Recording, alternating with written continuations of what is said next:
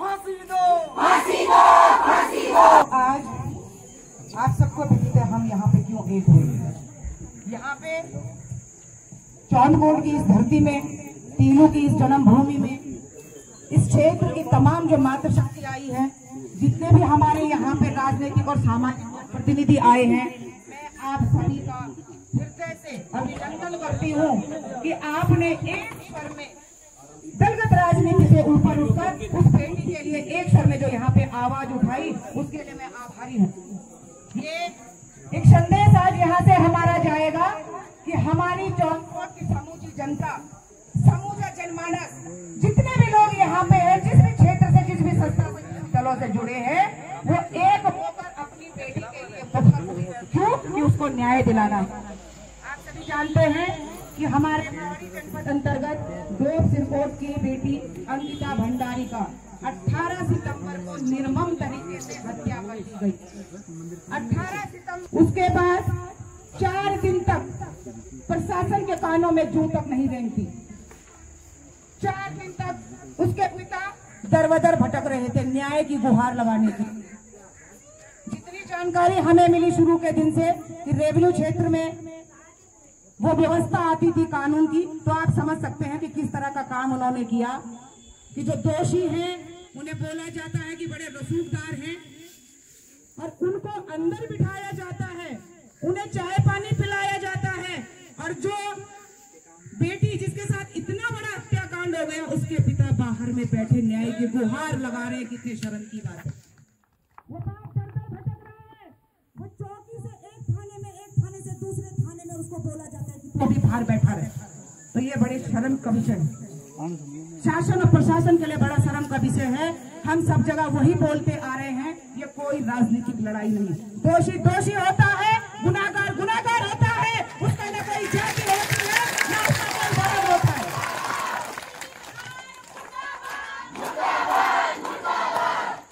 दोषी का कोई जाति धर्म नहीं है। जैसे बोलते हैं ना कि कितना भी बड़ा क्रिमिनल हो, कितना भी बड़ा गुंडा हो, मौत कुत्ते की उसकी बात में होती है। उसी तरह दोषी का भी कोई जाति धर्म नहीं हम उसे सिर्फ़ दोषी करार देते हैं और जो जघन्य अपराध उसने किया है उसकी सजा सिर्फ़ और सिर्फ़ फांसी है। लेकिन इतना ज़रूर कहूँगी कि हमारी न्याय व्यवस्थाओं में, हमारा जो ये सिस्टम है, ये उसकी कमी थी कि आज अंकिता के साथ जो ये देरी हुई, जो ढिलाई हुई, सारा दोष उन्हीं का है। अगर उन चार दिनों में पैरवी हो जाती, वो अपनी ज़िम्मेदारी निभाते तो शायद उस पिता को ऐसा नहीं भटकना पड़ता। और ऐसी कैसी बात है कि जब जनता का ही प्रेशर बने, तब काम करोगे। जब जनता का प्रेशर बना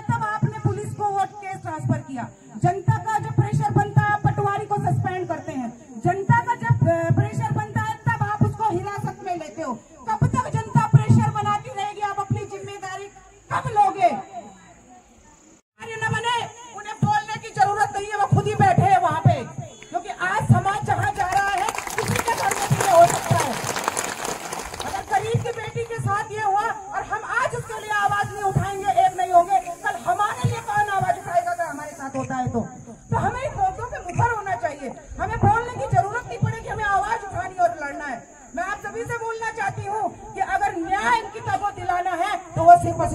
दिला सकती है।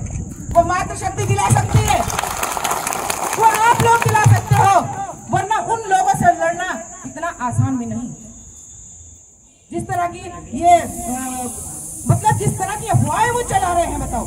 हमारी जिस बहन ने श्रीनगर का ऑडियो वीडियो जिस बहन का उन्होंने प्रचारित किया कि हमने ये देखा उसके पिता ने ऐसा ऐसा सौदा कर लिया उसको फैलाया। हमारी उस बहन की गलती नहीं है। वो सुबह पाँच बजे से वहाँ धरने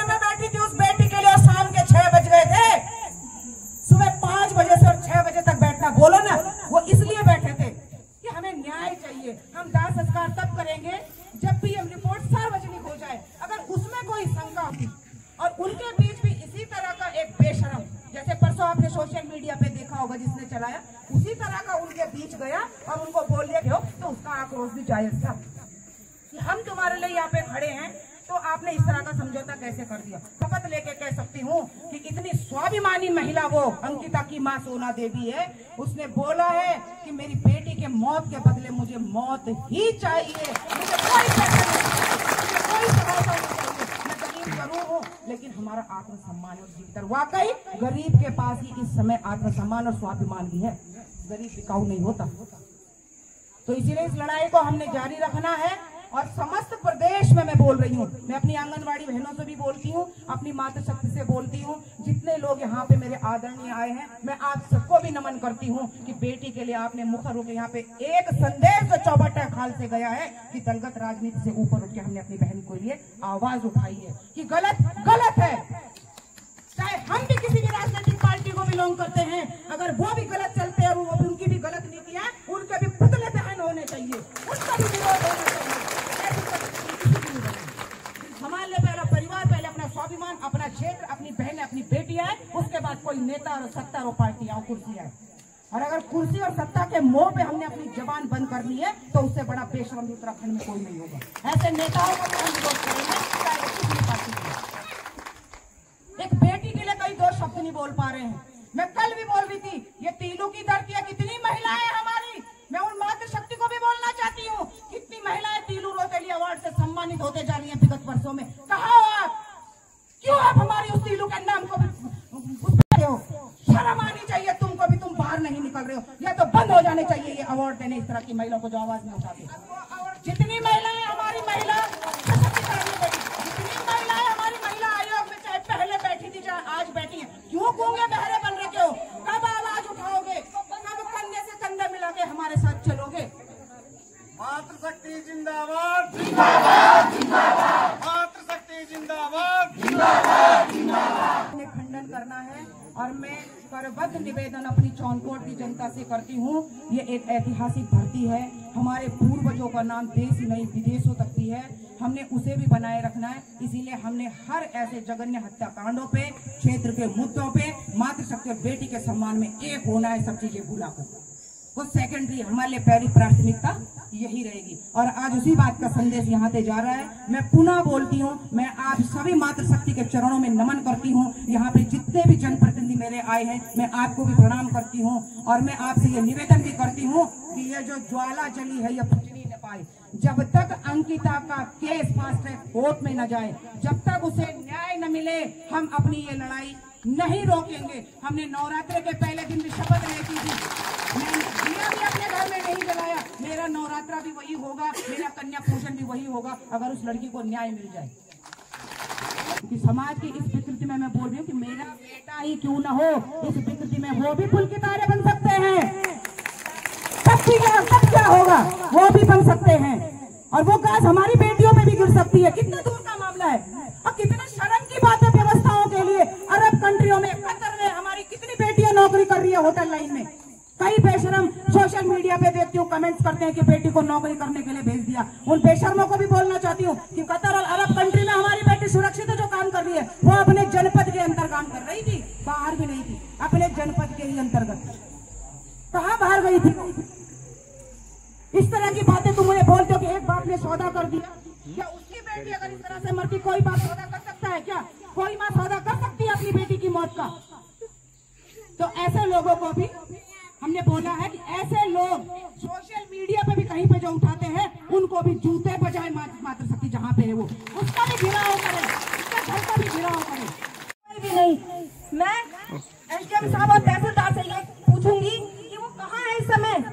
उन्हें यहाँ होना चाहिए जब इतनी भीड़ यहाँ है तो उस समय कहाँ गए? इसी हमारी बेटी बनी चढ़ गई है। आज ये प्रशासन सही होता तो शायद वो बेटी भी ज़िंदा होती। मैं राजस्व को भी यही कहना चाहूँगी